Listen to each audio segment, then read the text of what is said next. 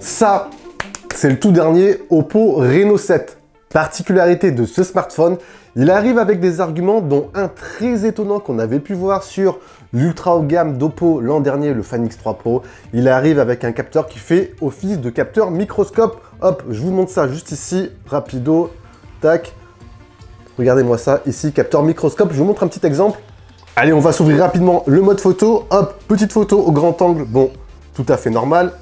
Et on va passer vite fait en version microscope juste ici. Hop, et regardez-moi les résultats qu'on peut avoir. Hop, j'approche le capteur juste ici et on voit quasiment tous les petits filaments, etc. Bref, c'est vachement impressionnant. Et là, vous vous dites, ce Oppo Reno 7, smartphone ultra haut de gamme, smartphone haut de gamme.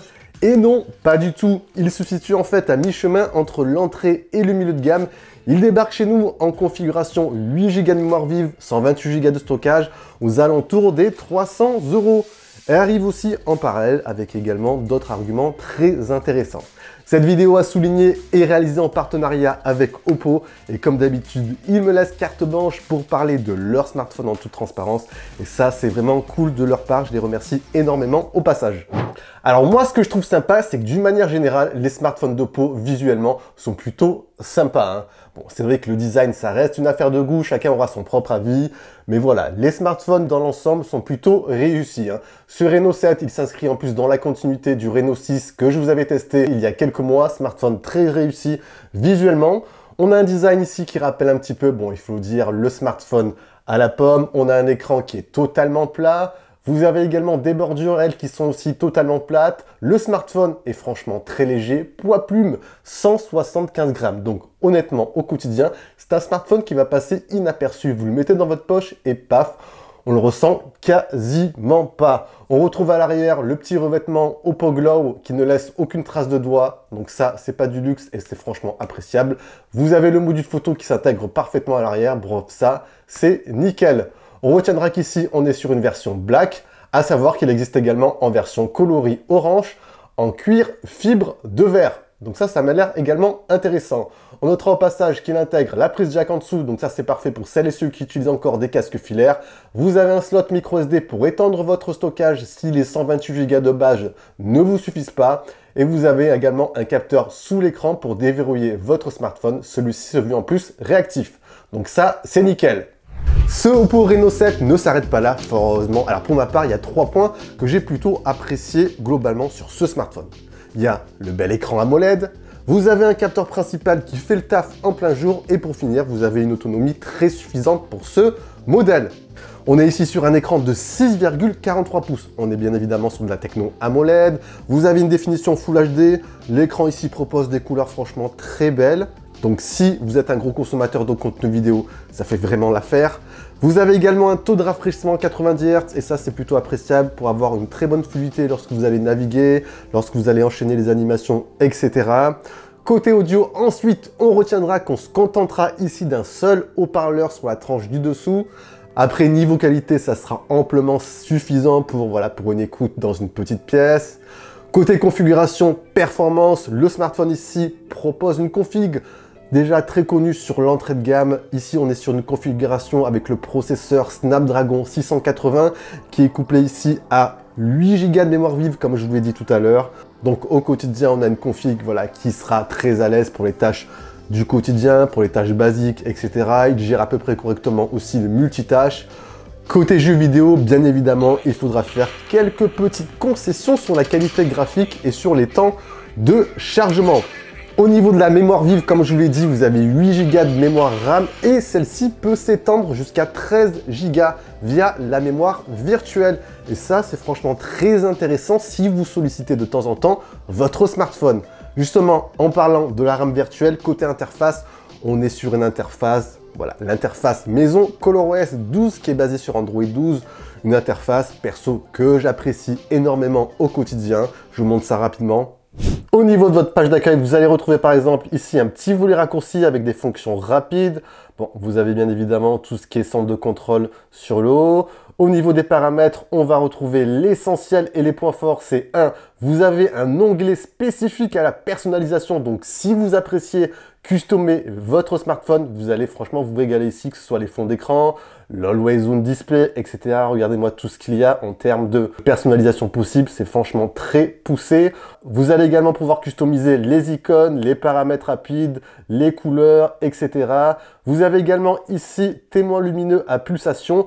Vous allez pouvoir allumer le témoin lumineux du capteur microscope lorsque vous recevez des notifications ou lorsque vous recevez des appels. Donc ça c'est pratique si votre smartphone est en mode silencieux. Je vous l'allume juste derrière, hein. c'est le témoin lumineux qu'on retrouve hop juste derrière celui-ci. Donc voilà, c'est pratique si vous avez votre smartphone posé sur une table côté écran. Vous avez bien évidemment tout ce qui est affichage, écran, etc. Vous avez tout ce qui est notification, le mode sécurité, les mots de passe, ce qui est pas mal aussi, comme je vous l'ai dit, c'est que vous allez pouvoir étendre, ça se passe juste ici, étendre votre RAM virtuelle jusqu'à 13 Go. Vous avez 8 Go de mémoire vive de base. vous allez pouvoir ajouter 5 Go de mémoire RAM virtuelle en plus. Et ensuite, un truc qui est vraiment sympa aussi dans l'interface Oppo, c'est qu'elle intègre des gestes à main levée. Hein. Lorsque vous utilisez par exemple des applications telles que TikTok ou YouTube, vous allez pouvoir faire défiler les vidéos avec des gestes à main levée sans toucher votre smartphone. Donc ça, ça peut être pratique si vous faites autre chose en même temps.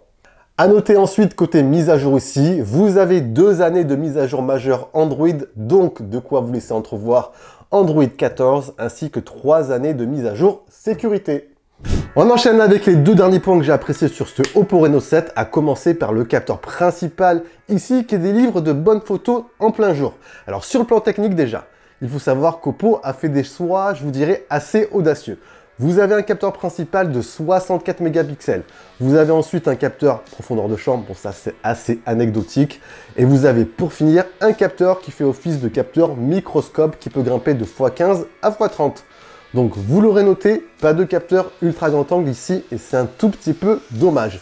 A noter qu'à l'avant, vous avez un capteur de 32 mégapixels qui intègre des spécificités techniques assez communes avec le capteur selfie du Fine X5 Pro que je vous ai testé récemment. Donc ça, ça peut également être très intéressant. Alors, dans les faits, les photos de jour du grand angle sont honnêtement assez quali. Vous avez un bon niveau de piqué, les détails sont bien présents. Il manque peut-être un poil de vivacité au niveau des couleurs. Bon ça, ça reste un avis personnel, mais ça reste franchement très bien globalement. Comme je vous l'ai dit, vous n'avez pas d'ultra grand angle ici, on fait l'impasse. Et vous avez par contre ce capteur microscope qui peut grimper de x15 à x30. Et ça, c'est franchement toujours un petit peu bluffant lorsque vous le testez la première fois.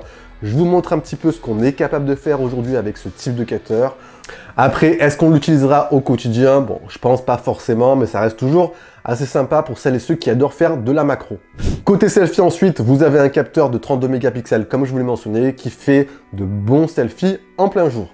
On notera ensuite que côté vidéo, vous pourrez filmer en Full HD avec une bonne stabilisation, mais par contre, pas de 4K, donc ça reste à souligner. Et côté autonomie, pour finir, le smartphone propose ici une autonomie franchement très suffisante. Pour des usages basiques, comptez à peu près une bonne journée et demie, voire un tout petit peu plus. Donc ça, c'est franchement très appréciable. Et il arrive également en parallèle avec de la recharge rapide 33 watts. Comptez à peu près 60-65 minutes pour recharger votre smartphone de 0 à 100%.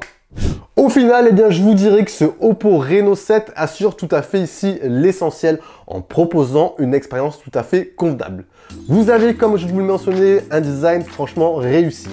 Un bel écran AMOLED 90 Hz, un smartphone qui propose une autonomie tout à fait satisfaisante et pour finir, un bon capteur principal en plein jour accompagné du petit capteur microscope toujours aussi bluffant lorsqu'on voit ça pour la première fois.